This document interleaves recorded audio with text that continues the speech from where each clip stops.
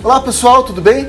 Olha só onde eu tô na casa da maior celebridade de Olambra, a minha amiga Eveline. Nossa.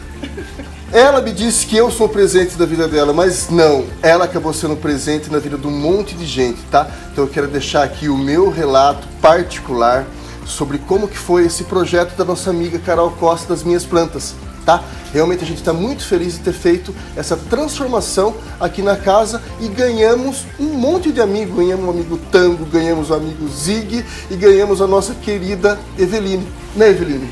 Eu ganhei queridos amigos, nossa, pessoas incríveis que ao longo do tempo eu vou conhecendo e vou ter chance de visitar e fazer curso também. É lógico, com certeza. Obrigada. Tá? Então é isso, gente. Muito obrigado para vocês. Segue lá a série, já tá tudo no ar, pode ver, rever, compartilhar, curtiu. Um beijão para todo mundo.